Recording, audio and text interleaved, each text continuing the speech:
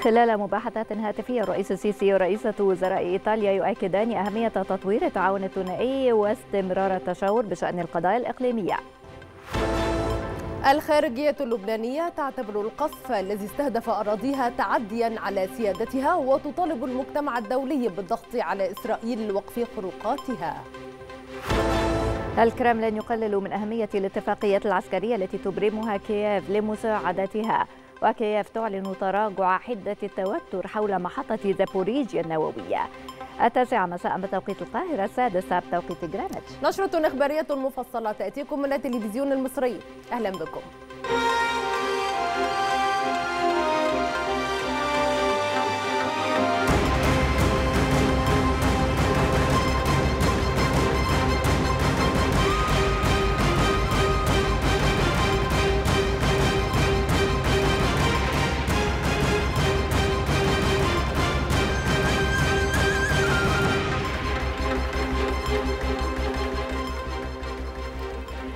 تلقى الرئيس عبد الفتاح السيسي اتصالا هاتفيا من رئيسة وزراء إيطاليا جورجيا ميلوني.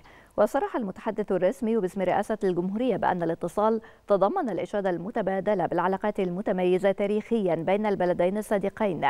إلى جانب التعاون القائم للتصدي للعديد من التحديات في منطقة المتوسط. كما أكد المتحدث الرسمي أن الاتصال أكد أهمية العمل على مواصلة تطوير مختلف أطر التعاون المشترك ودفعها إلى آفاق أرحب. إلى جانب التنسيق والتشاور المكثف حول تطورات مختلف القضايا الإقليمية. كما تناول الاتصال بحث مستجدات بعض موضوعات العلاقات الثنائية بالإضافة إلى ملف أزمة الغذاء على المستوى الدولي فضلا عن التباحث بشأن قضية مكافحة الهجرة غير الشرعية وسبل تنسيق الجهود الدولية في هذا الصدد. بالإضافة إلى التباحث حول عدد من القضايا الإقليمية والدولية ذات الاهتمام المشترك.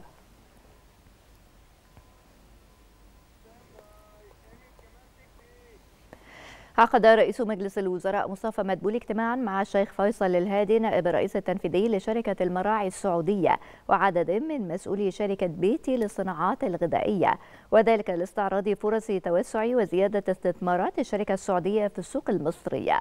وفي مستهل الاجتماع أشاد رئيس الوزراء باستثمارات الشركة في مصر ودورها في دعم استراتيجية الأمن الغذائي مؤكدا الحرص على تشجيع الشركة من أجل التوسع في مشروعاتها بالسوق المصرية خلال الفترة المقبلة. وكذلك زيادة فرص تصدير منتجاتها إلى المزيد من الأسواق العالمية. من جانبه أكد الشيخ فيصل الهادي نائب الرئيس التنفيذي لشركة المراعي السعودية التزام الشركة بالتوسع في استثماراتها في مصر.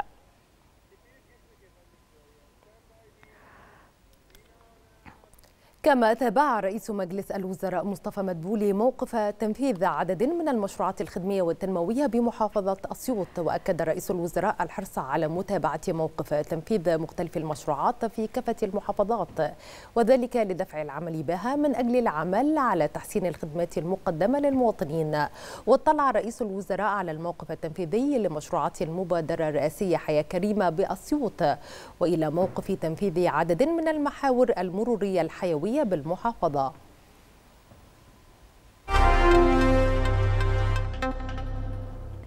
تواصل الشركة الوطنية للطيران تسيير جسرها الجوي من الأراضي المقدسة لعودة حجاج بيت الله الحرام إلى أرض الوطن. وأعلنت الشركة أن جسرها الجوي تضمن اليوم تسيير 18 رحلة جوية موضحة أن الرحلات بواقع 11 رحلة من مدينة جدة وسبع رحلات من المدينة المنورة. كما تواصل البعثة الطبية المصرية بمكة المكرمة والمدينة المنورة عملها لاستقبال ضيوف الرحمن لتقديم الخدمات العلاجية والوقائية لهم. المترددون على البعثة الطبية وصل عددهم إلى أكثر من 24 ألف حاج ووصل عدد الحالات الموجودة بالمستشفيات إلى 60 حالة منهم 25 حالة بالعناية المركزة. مع إقبال ضيوف الرحمن من الحجاج المصريين على المدينة المنورة لزيارة الحبيب المصطفى صلى الله عليه وسلم تزداد حالة الاستنفار القصوى لعيادات البعثة الطبية بمدينة رسول الله.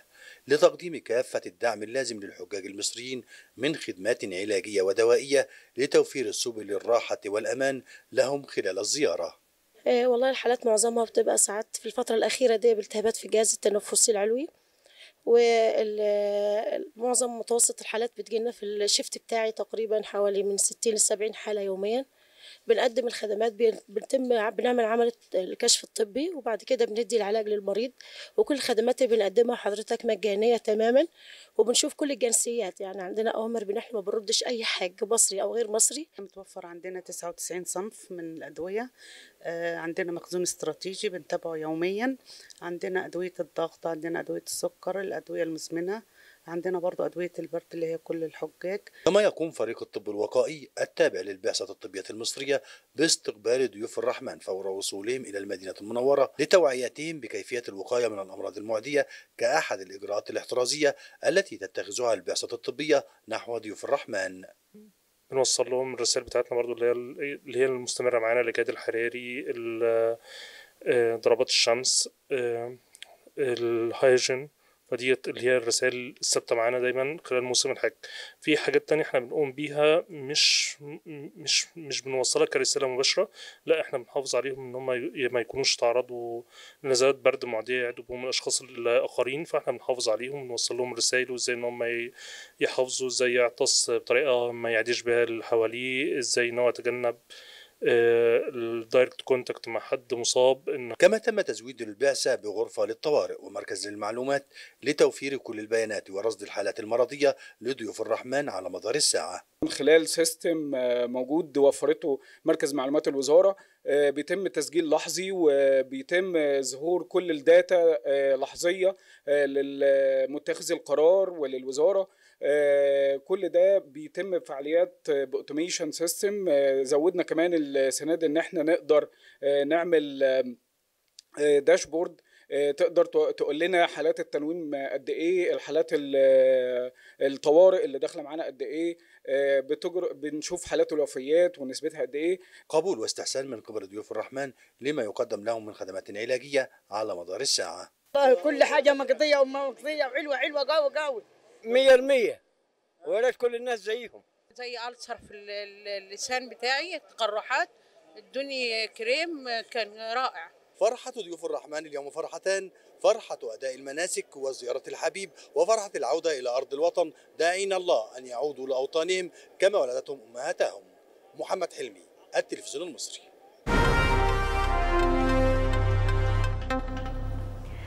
حتى البيت الأبيض إسرائيل على إعادة إعمار البنية التحتية للمدنيين الفلسطينيين في مخيم جنين للاجئين بالضفة الغربية المحتلة وذلك بعد العدوان الإسرائيلي الأخير على المخيم.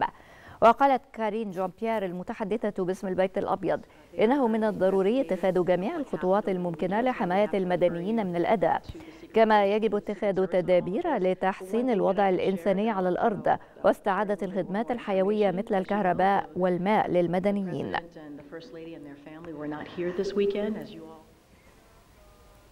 أدانت وزارة الخارجية اللبنانية القصف الإسرائيلي الذي طال الأراضي اللبنانية في محيط كفر شوبة في وقت سابق اليوم واعتبرت الخارجية اللبنانية الاعتداء الإسرائيلي خرقا للقرارات الأممية وتعديا على سيادة البلاد داعية الأمم المتحدة والمجتمع الدولي للضغط على إسرائيل لوقف خروقاتها وتعدياتها المستمرة بوتيرة تصاعدية مؤخرا على الأراضي والأجواء والمياه الإقليمية اللبنانية وجددت الخارجية اللبنانية احترامها لتطبيق كافة القرارات الدولية داعية إلى انسحاب إسرائيل الفوري وغير المشروط من كافة الأراضي اللبنانية التي ما زالت تحتلها. هذا ودعا رئيس حكومة تصريف الأعمال اللبنانية نجيب ميقاتي الأمم المتحدة إلى العمل على وقف الخروقات الإسرائيلية التي بلغت 18 خرقا للخط الأزرق في الفترة الأخيرة. جاء ذلك خلال الاجتماع الذي عقده ميقاتي مع المنسقة الخاصة للأمم المتحدة في لبنان جوانا فرانتسكا ووفد من قيادة القوى الدولية العاملة في جنوب لبنان اليونيفيل لبحث التداعيات حيث شدد قائد اليونيفيل على ضرورة الحفاظ على الاستقرار على طول الخط الأزرق واحترام القرار الأممي.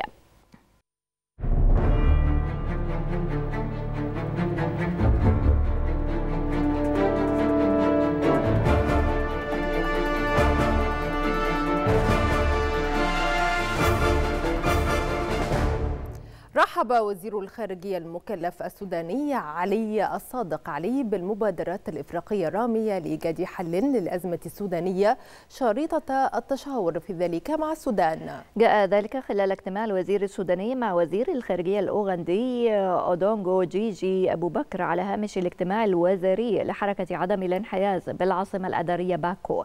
وقال الوزير السوداني خلال اللقاء إن قوات الدعم السريع مستمرة في جرائمها بحق المواطنين والمرافق العامة والخاصة ومقار البعثات الدبلوماسية. استقبل أحمد بلغيط الأمين العام لجامعة الدول العربية إبراهيم الدخيري المدير العام للمنظمة العربية للتنمية الزراعية لبحث وضع القطاع الزراعي في السودان. وحذر أبو الغيط من خطورة تأثير النزاع القائم على الأمن الغذائي السوداني والعربي مشيرا إلى أن هذه الأوضاع الخطيرة تستدعي سرعة التحرك عربيا ودوليا. كما ناقش الخطوط العريضة لخطة إنقاذ الموسم الزراعي السوداني التي أعدتها المنظمة العربية للتنمية الزراعية بالتعاون مع الأمانة العامة للجامعة وتهدف إلى تأمين التجارة وسلاسل الإمداد بالحبوب والمنتجات الغذائية. خطر داهم يهدد كل مظاهر الحياة في السودان في ظل احتدام المعارك بين الجيش السوداني وقوات الدعم السريع. وامتد هذا الخطر ليهدد التراث الثقافي السوداني الغني بمكوناته المتنوعة وذلك بعد فقدان العديد من القطع الأثرية والكتب القيمة. جهود كبيرة للحفاظ على التراث الثقافي للسودان مع احتدام المعارك في البلاد منذ إبريل الماضي بعد أن فقدت العديد من الكتب النفسية والآثار القديمة. الصراع الدائر طالت نيرانه التراث الثقافي الغني للبلاد والذي يشمل مملكة كوش القديمة التي كانت تسيطر على التجارة ما بين الجنوب والشمال الإفريقي.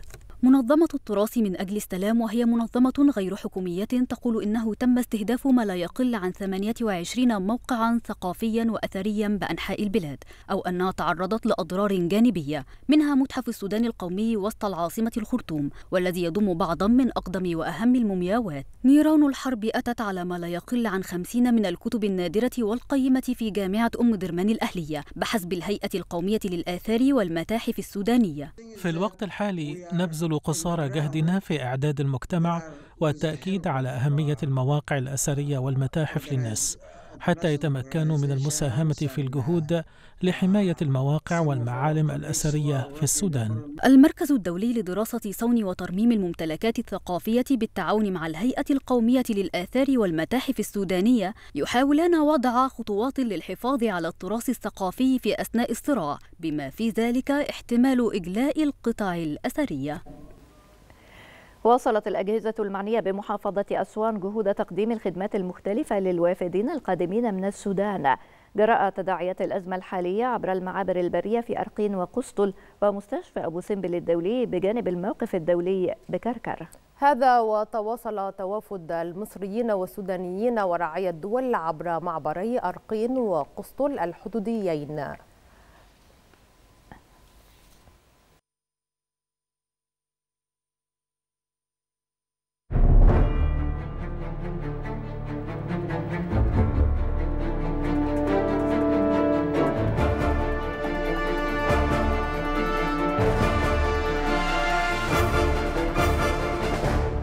عقد الرئيس الأوكراني فلاديمير زيلينسكي محادثات مع نظيره البلغاري رامن راديف خلال زيارته الحالية إلى صوفيا.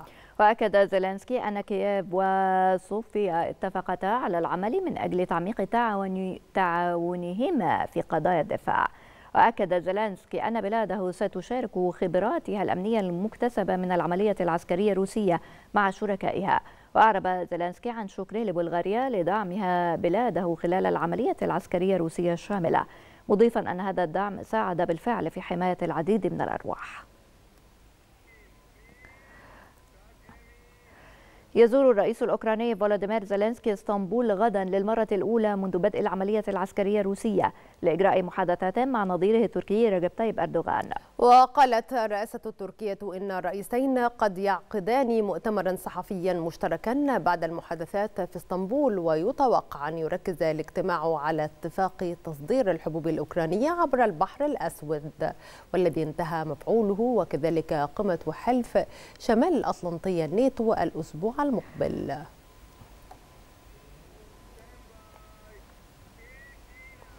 أعلنت الرئاسة الروسية أن أي اتفاقيات تبرمها كييف مع دول أخرى لتأمين المساعدة العسكرية لن يكون لها تأثير في نتيجة العملية العسكرية الخاصة. وقال المتحدث باسم الكرملين ديمتري بيسكوف إن كييف تبذل قصارى جهدها لجر أكبر عدد ممكن من البلدان بشكل مباشر إلى الأزمة.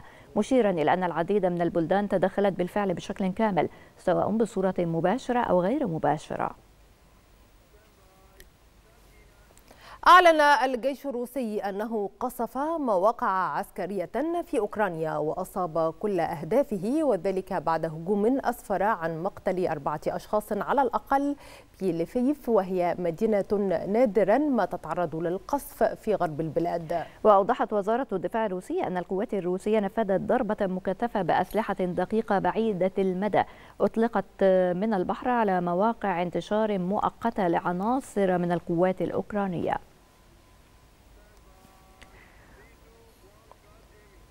أعلنت أوكرانيا تراجع التوتر حول محطة زابوريجيا للطاقة النووية وذلك في أعقاب تبادل اتهامات بين كييف وموسكو بالتخطيط لاستفزازات في المنشأة النووية. وقالت المتحدثة العسكرية ناتاليا جامينوك قالت إن التوتر يتراجع تدريجيا نتيجة ما يقوم به الجيش الأوكراني والجهود الدبلوماسية مع شركاء كييف. أعلنت روسيا وأوكرانيا عن عملية تبادل أسرى شملت 90 جنديا من الطرفين بواقع 45 جنديا من كل طرف. أوضحت وزارة الدفاع الروسية أن 45 جنديا روسيا عادوا بعد احتجازهم بأوكرانيا. من جانبه قال رئيس مكتب الرئاسة الأوكرانية أندري يرماك قال إن 45 جنديا أوكرانيا ومواطنين عادوا إلى البلاد. أعلنت وزارة الخارجية الروسية طرد تسعة دبلوماسيين من فنلندا ردا على خطوة مماثلة. وأضافت الخارجية الروسية أنها استدعت السفير الفنلندي للاحتجاج على ما وصفته بموقف هلسنكي المناهض لروسيا. كانت فنلندا قد أعلنت الشهر الماضي طرد تسعة دبلوماسيين روس متهمة إياهم بالعمل في مهام للمخابرات. قال الرئيس البيلاروسي ألكسندر لوكاتشينكو قال إن مؤسس مجموعة فاغنر يفجيني بريكوجين لا يزال في مدينة سان بطرسبرغ الروسية. وأضاف لوكاتشينكو أن مقاتلي فاغنر ما زالوا في قواعدهم الدائمة وأنه لا مخاطر على بلاده من استضافة مجموعة فاغنر ولفت إلى بحث إمكانية عقد لقاء بين الرئيس الروسي فلاديمير بوتين ومؤسس فاغنر كما دعا روسيا وأوكرانيا إلى بدء مفاوضات سلام دون شروط مسبقة مؤكدا عدم اعتزام استخدام الأسلحة النووية إلا في حال تعرض بيلاروسيا لاعتداء من الناتو.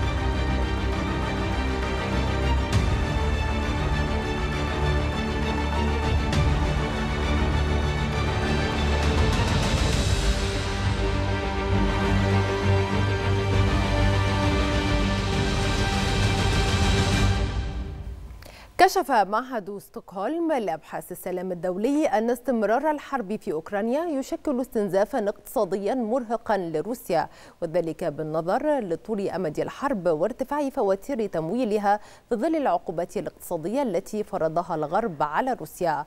أوضح المعهد أن ملامح ذلك ظهر في الموازنة العامة الروسية للعام 2023 والتي اصطدمت بمتغيرين الروسي وكذلك العملة الروسية. شكلت الأزمة الأوكرانية استنزافا اقتصاديا مرهقا لروسيا حسب دراسة لمعهد ستوكهولم لأبحاث السلام الدولي والتي أشارت إلى أن الموازنة العامة الروسية للعام الحالي اصطدمت بمتغيرين أساسيين وهما تراجع أسعار النفط الروسي وكذلك العملة الروسية. بنيت موازنة روسيا للعام الحالي 2023 على أساس تقديري لسعر برميل نفط الأورال وهو 70 واحد من عشرة دولار أمريكي إلا أن متوسط سعر برميل نفط الأورال لم يتعدى 48.92 من 100 دولار في الربع الأول من العام الجاري مقابل 88 دولار و95 من 100 دولار للبرميل في الربع الأول من العام الماضي 2022 لفتت الدراسة إلى أن موازنة روسيا للعام 2023 بنيت على أساس لسعر صرف وهو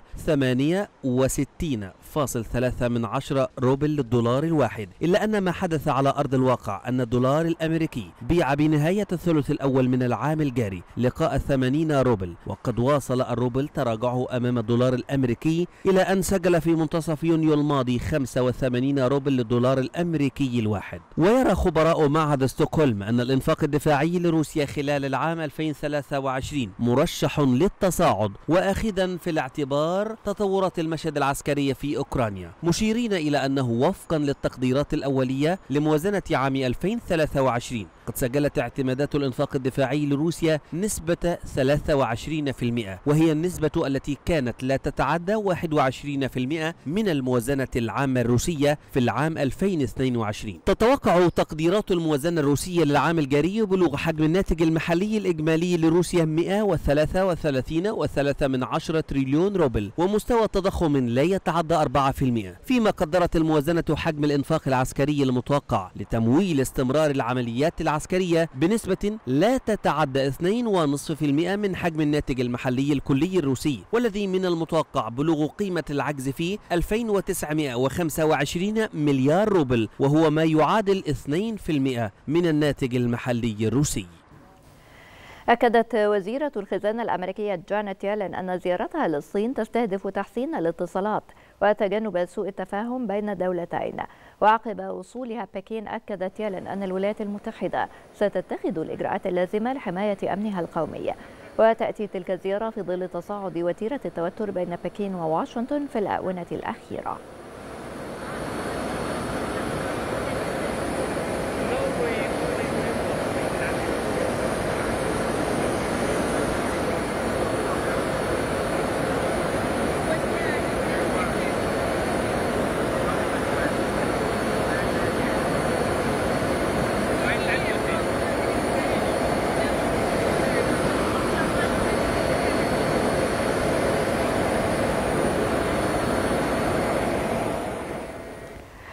ارتفع عدد الأمريكيين الذين قدموا طلبات جديدة للحصول على إعانة البطالة بشكل طفيف الأسبوع الماضي مما يشير إلى قوة سوق العمل رغم تزايد مخاطر الركود. وقالت وزارة العمل إن الطلبات المقدمة للمرة الأولى للحصول على إعانات البطالة الحكومية ارتفعت 12000 إلى 248 ألف طلب بعد التعديل. في ضوء العوامل الموسمية في الأسبوع المنتهي في الأول من يوليو. وتم تعديل بيانات الأسبوع السابق بالخفض 3000 طلب عما ورد سابقا. توقع الأمين العام لمنظمة البلدان المصدرة للبترول أوبك هيثم الغيث ارتفاع الحصة السوقية للمنظمة إلى 40% بين عامي 2040-2045 أضاف الأمين العام لأوبك أن توقعاته ستتحقق بعد انخفاض الإنتاج من دول خارج منظومة أوبك بلس أو خارج أوبك مشيرا إلى توقع المنظمة انخفاض إنتاج الولايات المتحدة ودول أخرى بحلول عام 2030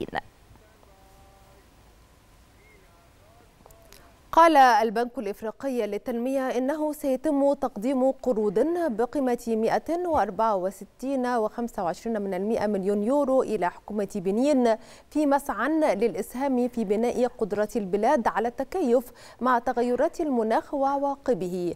وأشار البنك الإفريقي للتنمية في بيان أن التمويل يستهدف تطهير المجاري المائية في خضم تعرض بنين لتزايد تقلب المناخ إذ ارتفع عدد البلديات المعرضة لخطر كبير للفيضانات من 22 بلدية إلى 35 بلدية العام الماضي.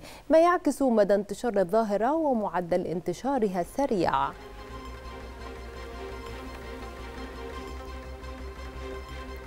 التاسعة متواصلة مع حضراتكم من التلفزيون المصري ونتابع فيها. فرنسا ترفض ملاحظات مفوض العدل الأوروبي بشأن أعمال الشغب الأخيرة وتعتبر أن مسائل إنفاذ القانون شأن داخلي لا تخص الاتحاد.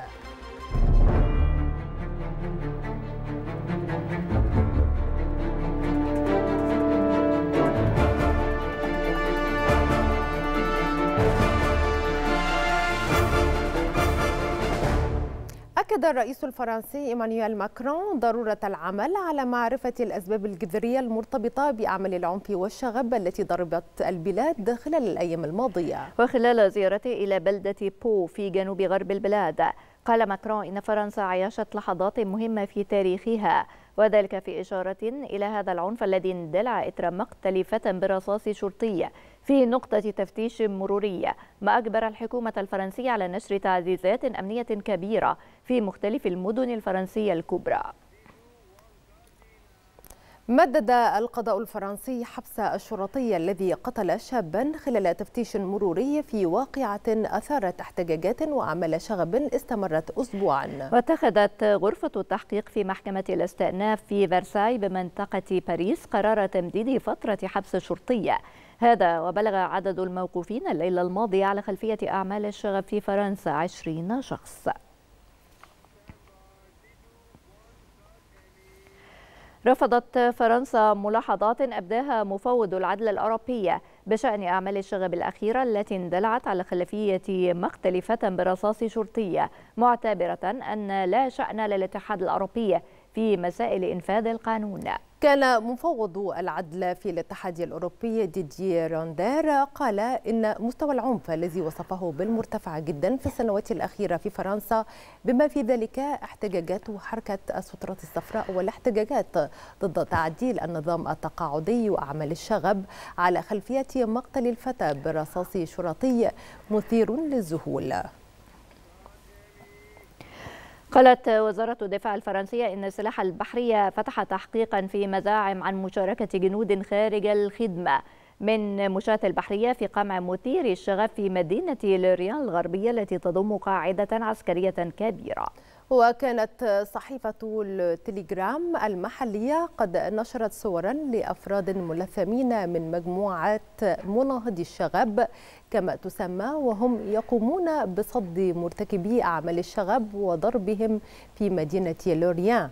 وألقت السلطات الفرنسية القبض على أكثر من ثلاثة ألاف ونصف شخص خلال الأسبوع الماضي في أسوأ أعمال شغب تشهدها مدن فرنسا منذ عام 2005 واندلعت شرارة الاضطرابات بعد قتل شرطي لشاب فرنسي من أصل جزائري خلال عملية تدقيق مروري.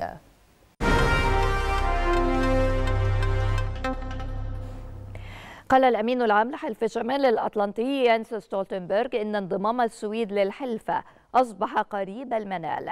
وفي مؤتمر صحفي عقب اجتماع في بروكسل أكد ستولتنبرغ أن أعضاء الحلف اتفقوا على مذكرة مشتركة تشمل تشريعات تتعامل مع طلب السويد للانضمام للناتو. مشيرا إلى أن السويد أبدت التزامها ببعض الأمور فيما يتعلق بمكافحة الإرهاب. ما يتم التركيز عليه الآن هو ما تم الاتفاق عليه. اتفقنا على مذكرة مشتركة حيث التزمت السويد بالقيام بمجموعة من الأمور تشمل تغيير التشريعات وكذلك تعاون بشكل وثيق مع تركيا في مجال مكافحة الإرهاب. والمشاركة في الآلية الدائمة. وطبعا يمكن للسويد أن تقدم المزيد طبعا تحت هذه العناوين لأنه يمكن طبعا دائما تقديم المزيد من المعلومات وكذلك توثيق التعاون. ولكن لا يمكن لي أن أفصح أو أحدد ما يمكن للسويد أن تقوم به من الآن وحتى انعقاد القمة. هذا الأمر يعود للسويد وتركيا. قال الرئيس الأمريكي جو بايدن إن الولايات المتحدة تدعم بشكل كامل عضوية السويد في حلف شمال الأطلنطي الناتو وفي لقاء مع رئيس وزراء السويد أولف كريسترسون في واشنطن أكد بايدن أن السويد ستجعل التحالف أقوى ولديها نفس قيم الناتو معربا عن تطلعه لحصولها للعضوية. من جانبه قال رئيس الوزراء السويدي إن بلاده والولايات المتحدة تتشاركان في العديد من الاجراءات منذ فترة طويلة وهذا ينطبق على كيفية التعامل مع الأزمة الأوكرانية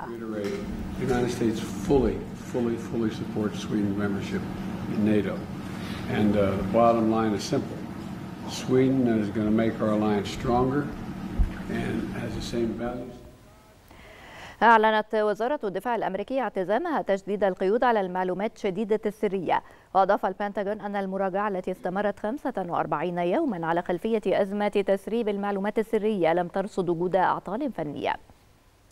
تحولت أزمة سرية المعلومات إلى كابوس يواجه الأجهزة الأمنية في الولايات المتحدة الأمريكية في أعقاب حادث تسريب المزعوم أدى إلى إلقاء القبض على ملاح جوي في أبريل الماضي وتوجيه اتهام له في وقت لاحق بنشر وثائق سرية على تطبيق ديسكورد للتراسل. وزارة الدفاع الأمريكية البنتاغون أعلنت اعتزامها تجديد القيود على المعلومات شديدة السرية خاصة وأن المراجعة التي استمرت 45 يوما لم ترصد وجود عطل فني معين معين لكن البنتاغون قال إن السياسات ومنها المتعلقة بالأجهزة الإلكترونية في المجالات الحساسة مبهمة وأدت إلى حدوث تفاوت في تطبيقها. وقال البنتاغون إن التدابير الجديدة تتضمن تعيين رقباء على المعلومات السرية للغاية وإنشاء مكتب جديد للتهديدات النابعة من الداخل وخططا لنظم كشف الأجهزة الإلكترونية في مناطق العمل التي تضم معلومات سرية للغاية. ويعتقد بأن تسريب الوثائق التي نشرت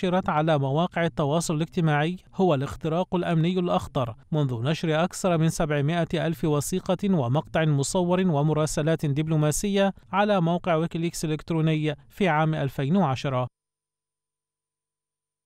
قال مسؤول كبير في حلف شمال الأطلنطي الناتو قال إن كوسوفو وصربيا لم تتخذا خطوات لتهدئة التوترات المتعلقة بالصرب في شمال كوسوفو ما يعرض أمن وسلامة الجميع. في كوسوفو وأفراد الناتو للخطر. وأوضح مساعد الأمين العام للعمليات في الناتو توماس جوفس إنه لم يحدث أي تقدم نحو خفض التصعيد. كانت أعمال عنف قد اندلعت في شمال كوسوفو بعد أن تولى رؤساء بلديات من أصل ألباني مهامهم. ما أدى إلى اشتباكات وإصابات بين جنود حفظ السلام والمحتجين الصرب. These are the same men and women who on 29 May كما أدانت الولايات المتحدة موقف حكومة كوسوفو من الاضطرابات التي تشهدها بعد وقوع اشتباكات وإصابة عدد من جنود حفظ السلام. واعتبر وزير الخارجية أنتوني بلينكن أن حكومة بريشتينا لم تتخذ موقفا يحد من التصعيد. هذا ويشهد شمال كوسوفو توترات بعد تولي رؤساء بلديات من أصل ألباني مهام منصبهم. في تغير يبدو غريبا بالموقف السياسي الأمريكي تجاه صربيا أعربت واشنطن عن رفضها تحركات حكومة كوسوفو إزاء الاضطرابات على أرضها. واشنطن انتقدت على لسان وزير خارجيتها أنتوني بلينكن موقف بريشتينا واعتبرته مؤججا للأوضاع الملتهبة بالفعل، كما أشار إلى أنها لم تتخذ أي تحرك من شأنه أن يحد من التوتر. بداية الأزمة في شمال كوسوفو تعود إلى أشهر بعد مقاطعة انتخابات شهدت تولي رؤساء بلديات من أصل ألبانيين مهامهم. في خطوة دعمها رئيس الوزراء ألبن كورتي وأدت إلى تأجج الوضع مؤخرا وخروج مظاهرات أدت لوقوع اشتباكات وإصابة جنود حفظ السلام والمحتجين الصرب. بدوره ألقى المبعوث الأمريكي إلى صربيا كريستوفر هيل اللوم على رئيس وزراء كوسوفو معتبرا أن الولايات المتحدة لديها مشكلة مع شخصه على حد تعبيره. الموقف الأوروبي لم يختلف كثيرا عن واشنطن فالاتحاد الأوروبي أكد أنه لن يرفع العقوبة السياسية والاقتصادية عن كوسوفو ما لم تخفف الحكومة التوتر مع ذوي الأصول الصربية. وذلك بعد أن فرضت دول التكتل إجراءات عقابية على كوسوفو بعد إخفاق حكومة رئيس الوزراء في تلبية مطالب التكتل والولايات المتحدة بنزع فتيل أزمة في شمال البلاد شهدت أسوأ اشتباكات منذ ما يزيد على عشر سنوات. أعلن الإدعاء الألماني القبض على خلية إرهابية مكونة من سبعة أشخاص في ولاية شمال الراين وويستفاليا وأوضح الإدعاء الألماني أن أفراد الخلية الإرهابية تم القبض عليهم بتهمة تأسيس موقع إلكتروني يدعم الإرهاب في البلاد لافتا إلى أنهم كانوا يخططون للقيام بهجمات ذات تأثير على الرأي العام الألماني.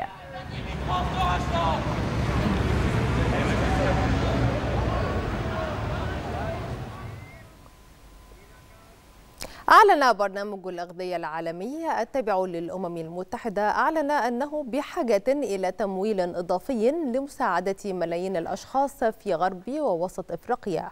وكشف برنامج الأغذية العالمي أن معدلات سوء التغذية ارتفعت أيضا مع توقع إصابة 16.5 مليون طفل دون سن الخامسة بسوء التغذية الحاد هذا العام.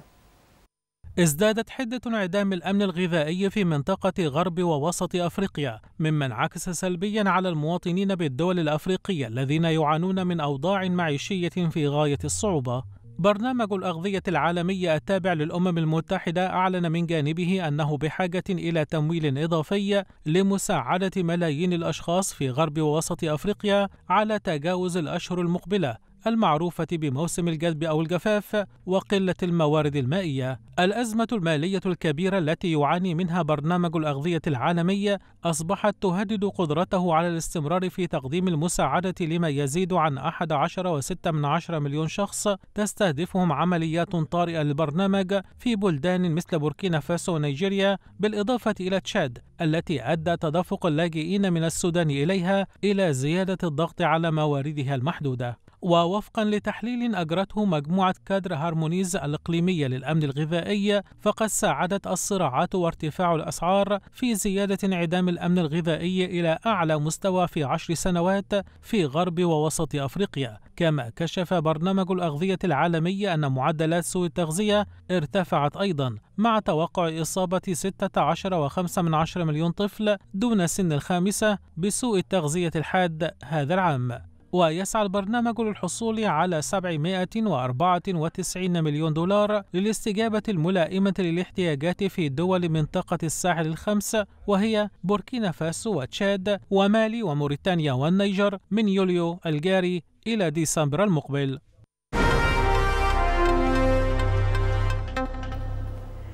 نفى المركز الإعلامي لمجلس الوزراء صحة فيديو تداولته بعض مواقع التواصل الاجتماعي. يزعم نشوب مشاجرة بأحد فنادق الغردقة نتيجة لتقديم لحوم غير صالحة للنزلاء. وأوضح المركز أنه فور تداول الفيديو تم تشكيل لجنة من مسؤولي كل من وزارة السياحة والأثار ومديرية الطب البيطري بمحافظة البحر الأحمر وغرفة المنشآت الفندقية لفحص اللحوم الموجودة بهذه المنشأة الفندقية للتأكد من سلامتها والكشف عن مدى جودتها. مؤكدا أن جميع اللحوم المقدمة بالمنشأة الفندقية سليمة وسارية الصلاحية دون وجود أي أنواع من اللحوم المخالفة.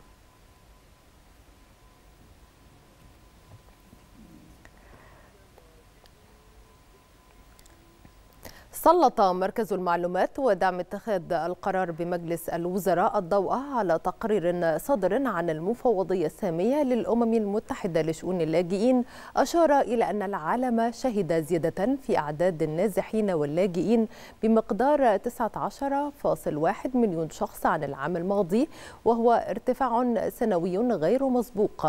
وذكر المركز أن التقرير الأممي أوضح أن الأزمة الروسية الأوكرانية والصراعات في مناطق أخرى فضلا عن التداعيات الناجمة عن تغير المناخ أدت إلى نزوح المزيد من الأشخاص العام الماضي.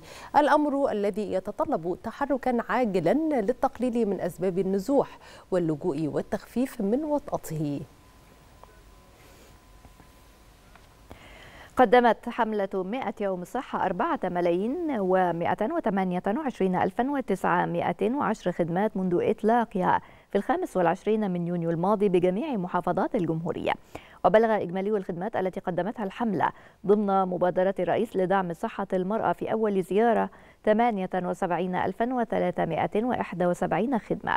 فيما بلغت الزيارات العارضة والمتكررة 277037 زيارة.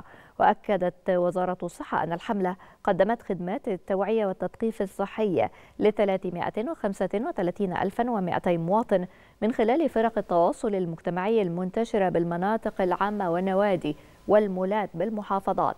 لرفع الوعي وتوجيه المواطنين لتلقي خدمات مبادرات الصحة العامة التي تقدمها الحملة.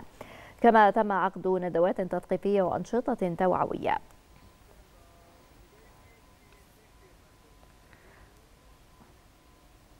أعلنت تنسيقية شباب الأحزاب والسياسيين عن التدشين الرسمي للجنة دمج وتأهيل المفرج عنهم والمعنية بتقديم كافة أوجه الدعم والمساندة وتذليل العقبات التي تحول دون العودة لممارسة حياتهم الطبيعية. وباشرت لجنة الدمج والتأهيل داخل التنسيقية عملها بالتركيز على عدة محاور أبرزها.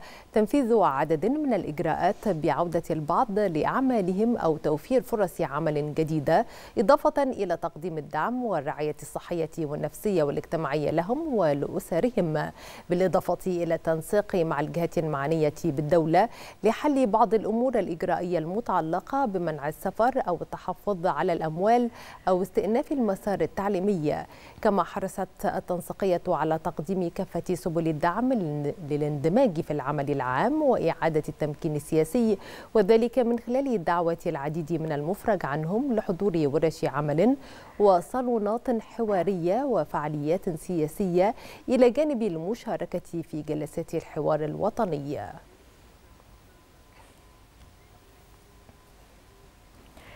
تنظم مبادرة ابني أديبا إحدى مبادرات تنسيقية شباب الأحزاب والسياسيين عرضا لمسرحية فلوسك إيه غدا حول التنمية المستدامة. ويأتي العرض المسرحي في إطار دعم التنسيقية للنشأ حيث تتضمن المسرحية رسائل تنموية وتوعوية تستهدف العمل على استغلال كل الموارد المتاحة لتحقيق رؤية مصر 2030 والتنمية المستدامة. وتعتبر إحدى مخرجات مبادرة ابني أديبا التي تستهدف صنع كوادر من النشأ.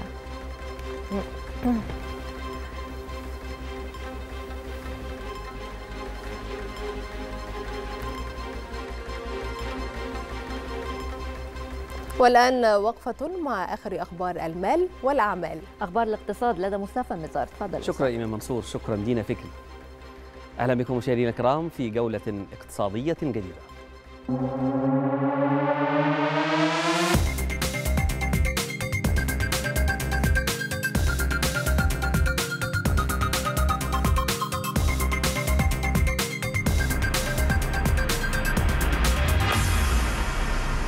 بحث رئيس هيئة قناة السويس الفريق أسامة ربيع مع وزير الشؤون البحرية والجزر اليونانية سبل تعزيز أواصر التعاون والتنسيق المشترك. جاء ذلك على هامش انعقاد المؤتمر البحري العربي اليوناني الأول والمنعقد في اليونان. وخلال هذا اللقاء استعرض الفريق أسامة ربيع التطورات التي شهدتها قناة السويس ومستجدات مشروعات القناة وخططها التنموية.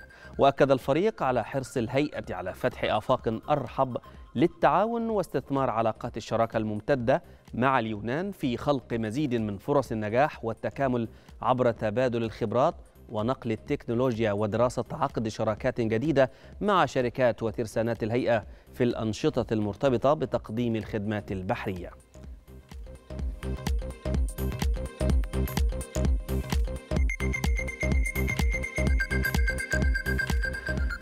وافقت اللجنة الاقتصادية بمجلس النواب على المشروع المقدم من مجلس الوزراء بمنح التزام وتصميم وإنشاء وإدارة وتشغيل وصيانة وإعادة تسليم محطة متعددة الأغراض في ميناء شرق بورسعيد والتابع للمنطقة الاقتصادية لقناة السويس.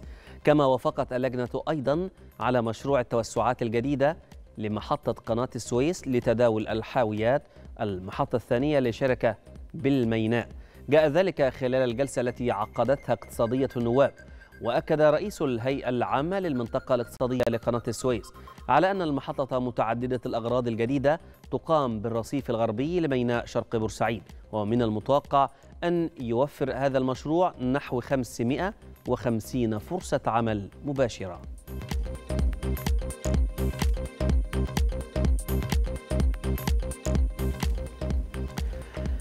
أعلن البنك المركزي المصري عن ارتفاع الاحتياطي النقدي من خلال العملات الأجنبية خلال شهر يونيو الماضي بنحو 146 مليون دولار ليبلغ مستوى 34 مليار دولار و806 ملايين دولار مقابل 34 مليار دولار و660 مليون دولار في مايو السابق كانت لجنة السياسة النقدية للبنك المركزي المصري.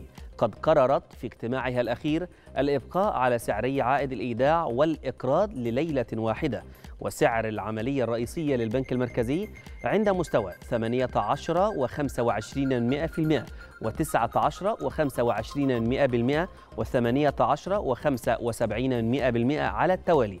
كما تم الإبقاء على سعر الائتمان والخصم عند مستوى 18 و75 من 100 بالمئة.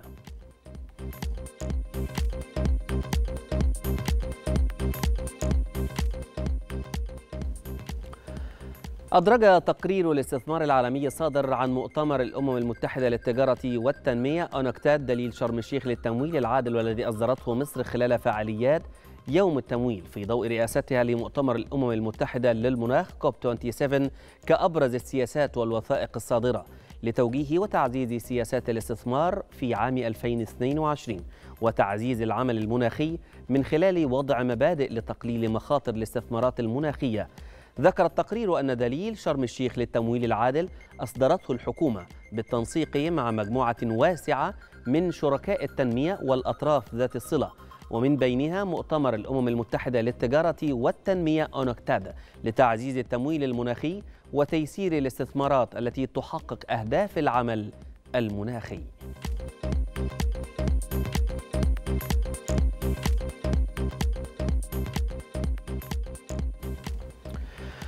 في أسواق البترول العالمية تراجعت أسعار النفط بفعل مخاوف من تباطؤ تعافي الطلب في الصين. وتراجعت العقود الآجلة لخام برنت القياسي بما نسبته 1.68 من 100 بالمئة لتحقق وتصل إلى 75 دولار و36 سنتا للبرميل.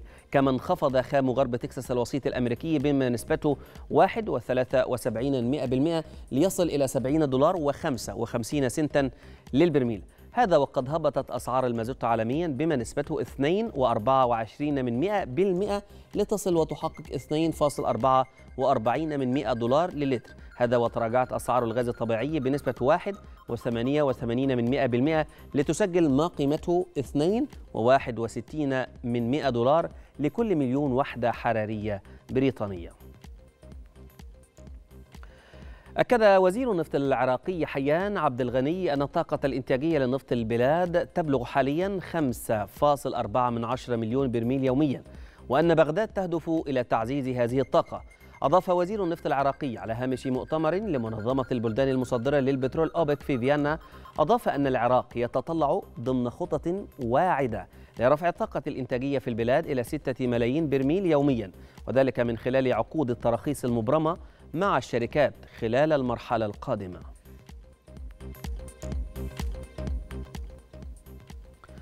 تقلص العجز التجاري الأمريكي في مايو مع انخفاض الواردات إلى أدنى مستوياتها منذ أواخر العام قبل الماضي 2021 وأدى ارتفاع تكاليف الاقتراض إلى تباطؤ الطلب المحلي. أضافت وزارة التجارة الأمريكية أن العجز التجاري انخفض بنسبة 7.3% ليصل إلى 69 مليار دولار وانخفضت واردات السلع والخدمات إلى 2.3% لتصل إلى 316.1 مليار دولار وهو أدنى مستوياتها منذ أكتوبر من عام 2021 هذا وانخفضت الصادرات عشرة بالمئة لتحقق وتصل إلى 247 وواحد من عشرة مليار دولار.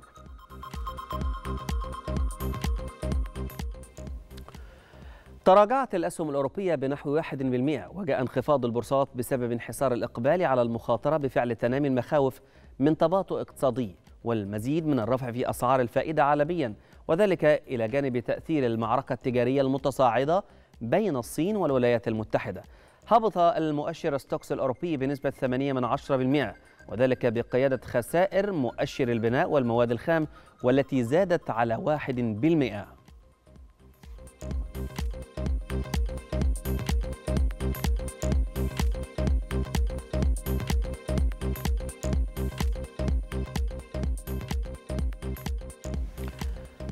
وصلنا معكم مشاهدينا الكرام إلى نهاية هذه الجولة في أخبار المال والأعمال ونعود لاستكمال ما تبقى في نشرتنا من أخبار مع إيمان ودينا. شكرا لك مصطفى.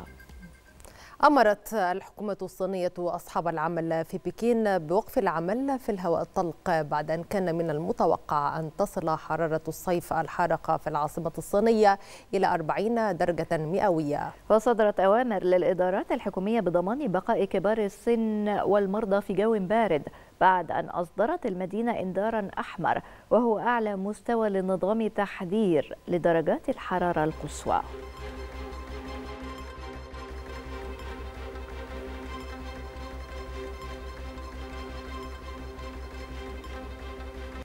أعلنت حكومة بيرو حالة طوارئ في إقليم موكيغوا بسبب إطلاق بركان أبيناس الرماد مع عشرات الانفجارات المسجلة خلال اليومين الماضيين. وأعلن ألبرتو أوتارولا رئيس وزراء بيرو حالة الطوارئ بسبب ثوران البركان الذي قد يؤثر على السكان القريبين والذي يبلغ عددهم نحو ألفي شخص وغطى الرماد منازل وشوارع في قرى مجاورة. ويعد بركان أوبيناس أحد سبعة براكين في جنوب بيرو ويقع داخل منطقة بركانية تمتد من جنوب بيرو إلى شمال شيلي.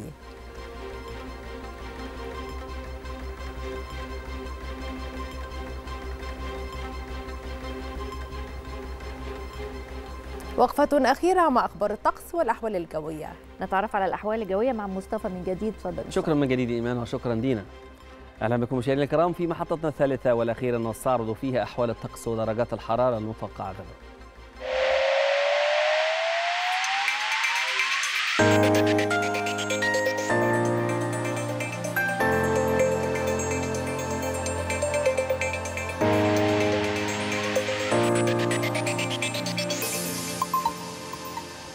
يتوقع خبراء هيئه الأرصاد الجوية أن يسود غدا الجمعة طقس حار نهارا رطب نهارا على القاهرة الكبرى والوجه البحري والسواحل الشمالية وشديد الحرارة على جنوب سيناء وجنوب البلاد معتدل الحرارة ليلا على كافة الأنحاء. وفيما يلي مشاهدينا الكرام بيان بدرجات الحرارة المتوقعة غدا على محافظات ومدن الجمهورية. نبدأ هذه الجولة من محافظة القاهرة وفيها درجة الحرارة العظمى 34 درجة والصغرى 24 والجو فيها حار. في الإسكندرية 30 23 والجو فيها مائل الحرارة في مطروح 28 22 أيضا الجو فيها مائل للحرارة. في بورسعيد 32 23 حار في الإسماعيلية 35 23 الجو فيها حار. أما عن محافظة السويس فدرجة الحرارة العظمى هناك 35 درجة مئوية والصغرى 23 والجو فيها حار. في العريش 31 22 والجو فيها حار في طابة 35 25 الجو فيها حار في شرم الشيخ 38 28 والجو فيها حار وفي الغردقة 37 28 والجو فيها أيضا حار. أما عن محافظة الأقصر فدرجة الحرارة العظمى هناك 40 درجة مئوية والصغرى 27 درجة والجو هناك حار. أما عن محافظة أسوان فدرجة الحرارة العظمى 41 درجة والصغرى 29 والجو هناك شديد الحرارة. في الوادي الجديد 40 26 والجو حار في شلاتين 36 29 الجو فيها حار وأخيرا في حلايب 34 28 والجو فيها أيضا حار. الآن مشاهدينا الكرام نستعرض مع حضراتكم درجات الحرارة المتوقعة غدا بإذن الله في عدد من العواصم والمدن العربية والعالمية.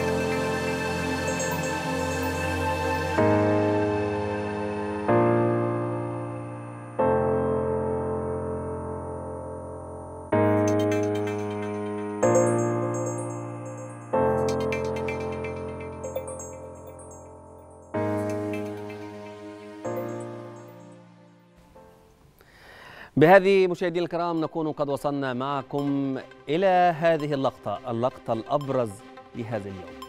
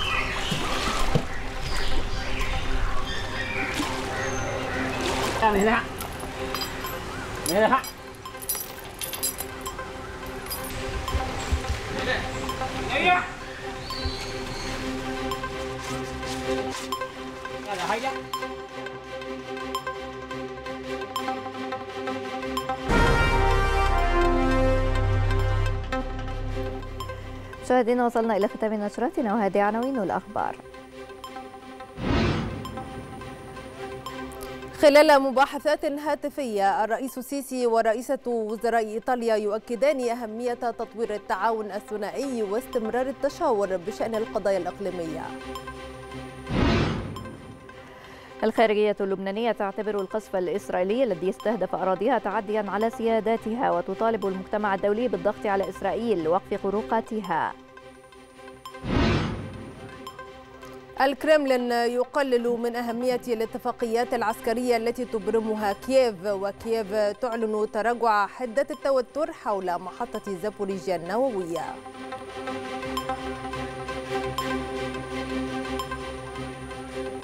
وصلنا إلى ختام نشرة التاسعة ولكن هواء التاسعة ما زال متواصلا مع شفكي المنيري مساء الخير. مساء الخير. أهلا بك يا شفكي مساء الخير يا دينا. مساء الخير يا إيمان. كل سنة وأنتم طيبين. وأنت طيبة وبخير. العيد. ويعني انتهت أجازة العيد بس الشوارع برضو هادية. يعني لسه الناس الشوارع لسه مأجزة هادية. أول حلقة ليكي بعد أجازة العيد يا أول حلقة ليا. بس عايزة أقول لك أنا شايفة إن الأجازة كانت طويلة حلوة و- والواحد بيشتاق للشغل يعني. طبعا أكيد. الناس اللي, اللي بيبقوا تعبانين يقول لك اشتقتوا للشغل إزاي يعني؟ لا أكيد طبعا. يعني بالذات حلقتك يوم الخميس بتبقى مختلفة. يعني فيها آه، جزء آه، يعني مختلف. بيبقى بنحاول. يعني يعني جزء فني نحاول كده نمسي على في المشاهدين الثقافة. في ليلة خميس يعني. بنحاول يعني. بالتوفيق يا رب إن شاء الله النهارده ومنتظرين يعني محتوى مختلف إن شاء الله. أشكرك يا دينا أشكرك يا إيمان ودايما بحب أشوفكم وأقابلكم وأتمنى لكل صناع نشرة التاسعة التوفيق والتألق زي ما أنتم متألقين شكراً. لك مشاهدينا الكرام اسمحوا لنا نبدأ برنامج التاسعة.